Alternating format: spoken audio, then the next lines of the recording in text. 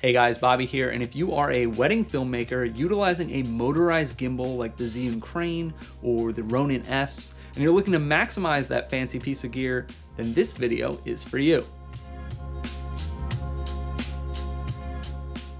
That's right, this is the three best gimbal movements for wedding videographers, and really I should say that it is my three favorite and most used movements. And if you like this video and you want to see more like it in the future, please be sure to give it a thumbs up and subscribe, making sure to also hit that notification bell to be the first to see new posts.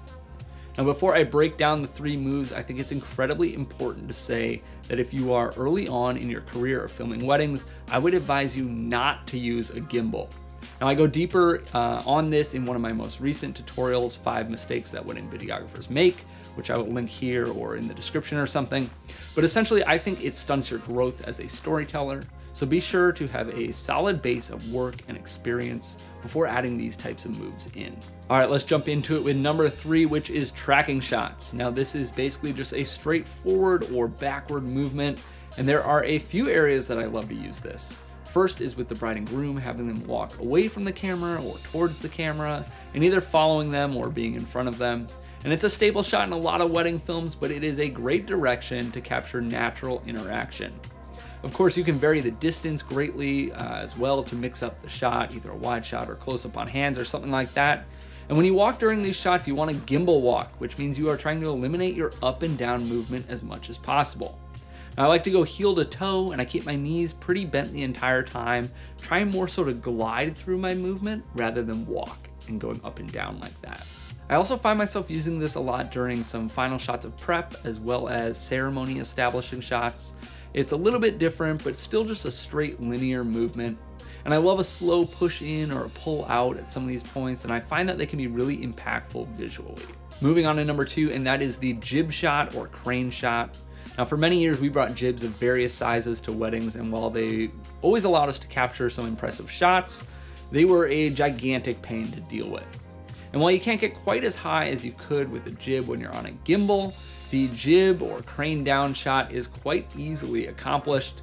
And we love to use this for establishing shots of the ceremony and the reception. It gives a good feel for the size of the space, which works great for many wedding venues. And it's a great transition shot from one part of the day to another. Of course, you can do this both up and down, and you can often even decide in post as long as your subject is entirely static, like a reception setup without any people in it. This is a pretty easy technique to do as you just need to hold the gimbal up high or start down low and slowly move the opposite direction, making sure to have the camera tilted as you desire. And finally, number one on the list is what I'm gonna call a parallax movement. I'm not quite sure if that's the exact phrase, we first started getting shots like this with a slider, and we've since gotten a lot better at capturing them with a gimbal over the years, and we absolutely love how they look.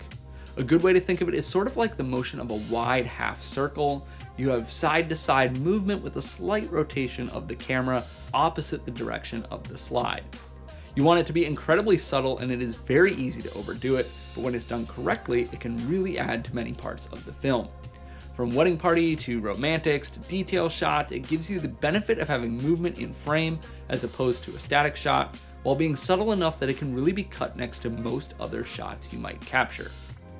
The movement for this shot is a little more tough and it looks a bit ridiculous, but to make it as smooth as possible, I like to spread my legs out beyond my shoulder width, and then I bend at my knees, get low in my stance, almost like a squat. Then I shift all my weight to one side and I slowly bring it to the other side while minimally rotating the gimbal. So those are my top three gimbal movements that we use at almost every wedding, and there are definitely more movements as well that you can do. Additionally, you can often combine these and other movements to spice them up a bit and make them a little bit more challenging. Also, while I mentioned the Zhiyun Crane and the Ronin S earlier in this video, just know that these are of course not specific to those gimbals or even one-handed gimbals in general.